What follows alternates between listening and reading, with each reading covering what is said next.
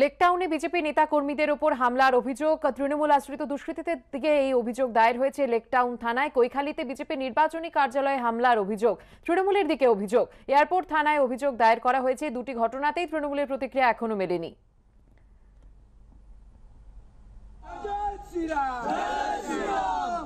Police প্রশাসন, হায় হায়। হায় হায় হায় হায়।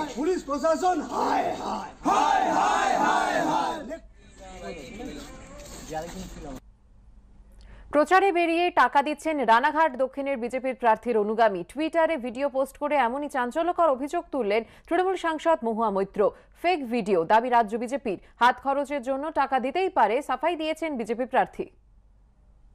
বহিরাগতরা আজকে জেলায় জেলায় এসে এসে মিটিং করে টাকার বিনিময়ে বড় বড় কথা বলছে।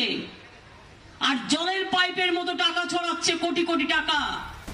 নির্বাচনী প্রচারে গিয়ে প্রায় প্রত্যেক জনসভাতেই বিজেপি বিরুদ্ধে ভোটের টাকা ছড়ানোর অভিযোগে সরব হচ্ছেন মমতা বন্দ্যোপাধ্যায়। আর এই প্রেক্ষাপটেই টুইটারে তৃণমূল সাংসদ মহুয়া মৈত্রের পোস্ট করা একটি ভিডিও ঘিরে তুঙ্গে উঠেছে চাঞ্চল্য। আর ওর জন্য আমরা চেষ্টা করব, ঠিক আছে? আমরা চেষ্টা করছি।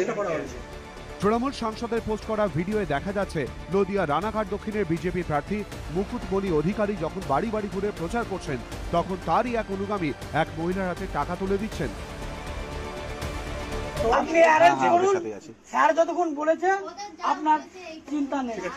আপনার চিন্তা নেই। টিফিন রেডি হয়ে গিয়েছে।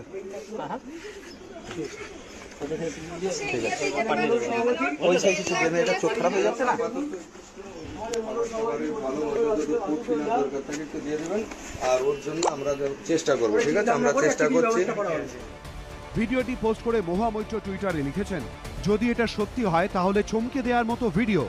রানাঘাট দক্ষিণের বিজেপি প্রার্থী মুকুটমণি অধিকারী এবং তার অনুগামীরা বাড়ি বাড়ি টাকা বিলি করছেন। ঘর ঘর মোদীর যথার্থ সারমর্ম।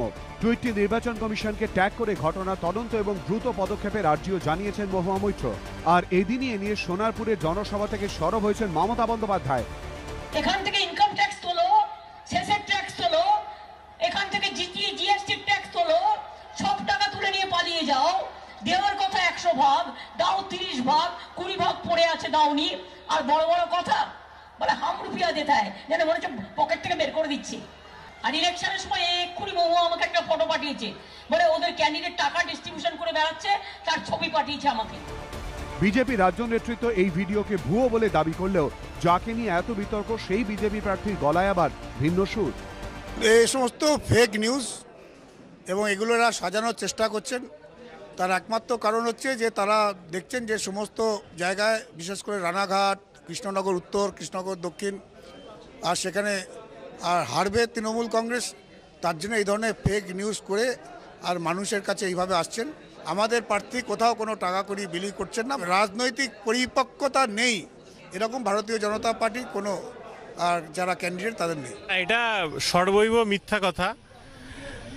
কেউ যদি কাকে দুশো টাকা, একশো টাকা হাত খরচের জন্য ফল কেনার জন্য দিতে থাকে, সেটা দিতেই পারে। ওরা তো সাধারণ মানুষকে, প্রত্যেক মানুষকেই প্রায় দু হাজার টাকা করে ছড়াচ্ছে। বিগত দশ বছর ধরে কোটি কোটি টাকা মানুষের থেকে লুণ্ঠন করেছে। এখন সাধারণ মানুষের কাছে অল্প কিছু পৌঁছে দিচ্ছে। আমরা সেই পন্থায় যাই না। ভোটের আগে টাকা বিলি নিয়ে অবশ্য বিতর্কই প্রথমবার নয়। গত সপ্তাহে ভাইরাল হয়েছিল এই ভিডিও, যেখানে দেখা গিয়েছিল ঝাড়গ্রামের বিজেপি প্রার্থী সুখময় সৎপথী প্রচারে বেরিয়েছিলেন। আর তার পাশে থাকা এক অনুগামীকে বলতে শোনা গিয়েছিল এই কথা। ভোটের আগের দিন আপনি দিয়ে দেবো খরচা। সম্প্রতি কংগ্রেসের সাধারণ সম্পাদক প্রিয়াঙ্কা গান্ধী একটি ভিডিও পোস্ট করে দাবি করেন, অসমের করিমগঞ্জে ভোটের পর স্ট্রং রুমে ইভিএম পৌঁছতে খোদ বিজেপি প্রার্থীর গাড়ি ব্যবহার করা হয়েছে। যদিও কোনো অভিযোগকেই গুরুত্ব দিতে চায়নি গেরুয়া সেবিক সুজিত মণ্ডল ও ঝিলম করঞ্জাই এবিপি আনন্দ।